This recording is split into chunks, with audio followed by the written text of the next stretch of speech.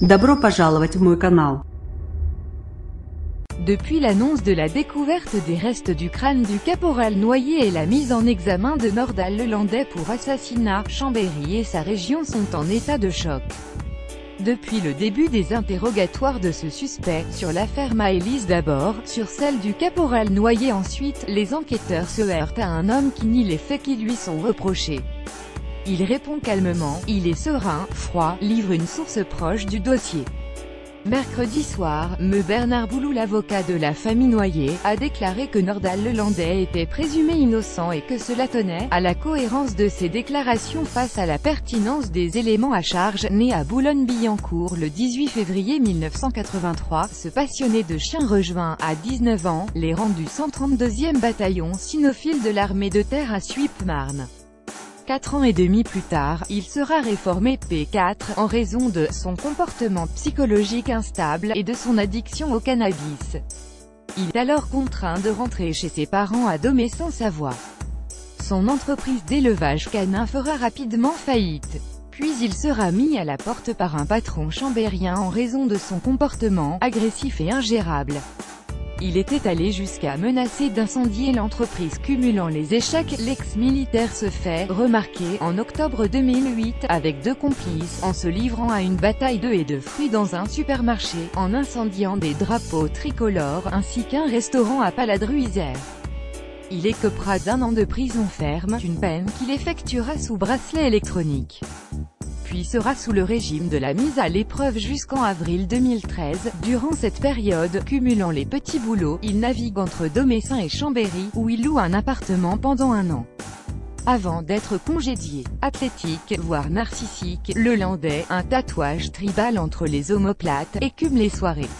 Le Dauphiné libéré est en mesure de livrer un nouveau témoignage. Grégorien a fréquenté Nordal Lelandais lorsque ce dernier vivait sur Chambéry en 20 112 012. J'étais serveur dans des boîtes de nuit de Chambéry et d'Aix-les-Bains. C'est là que j'ai connu Nordal. Il sortait très souvent, quasiment tous les soirs et venait avec des amis militaires.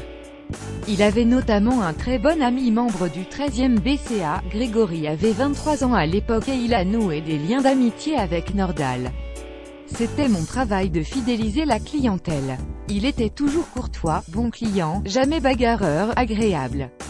Alors ça m'est arrivé de l'inviter à des soirées en dehors de la boîte, c'est à ce moment-là que le comportement de Lelandais aurait changé radicalement après quelques soirées entre amis, on faisait une soirée chez moi avec une amie. On jouait à la console de jeu et Nordal était avec nous. C'était un jeu où on tuait des zombies. Et là, Nordal a tenu des propos qui nous ont mis très mal à l'aise. On ne savait pas si c'était du lard ou du cochon, on s'est arrêté de parler.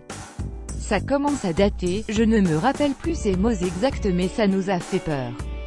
Et avec le recul, quand je vois ce qui se passe aujourd'hui, ça fait froid dans le dos, Grégory n'a jamais renouvelé l'invitation ensuite. Le serveur explique qu'après cet épisode, le Landais a disparu pendant quelques jours, et quand il a réapparu, il nous a expliqué qu'il se sentait mal psychologiquement et qu'il avait fait un court séjour en hôpital psychiatrique. Selon les informations du Dauphiné libéré, le Landais a été soigné jusque début 2013 par le centre d'alcoolologie de Chambéry en raison de sa lourde dépendance à l'alcool. Il avait aussi pris attache avec le centre médico-psychologique de Chambéry en raison d'une dépression.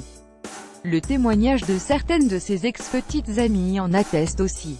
Plusieurs d'entre elles avaient été entendues par les enquêteurs de la section de recherche de Grenoble. Toutes avaient livré un même constat aux gendarmes, il se montrait menaçant, violent, voire très violent, dans le cadre de rupture, avait confié au Dauphiné libéré une source proche du dossier.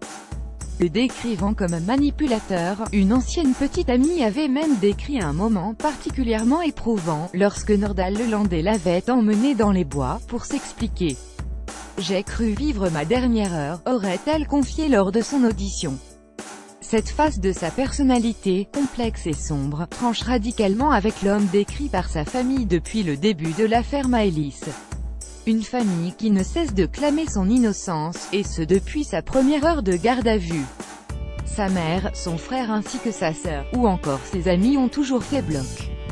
Ni la famille, ni Malin Yakubowicz ne sont encore exprimés depuis l'annonce de la nouvelle mise en examen, Un le prénom a été changé pour protéger l'anonymat. Stéphane Dudzinski avec Vincent W.A.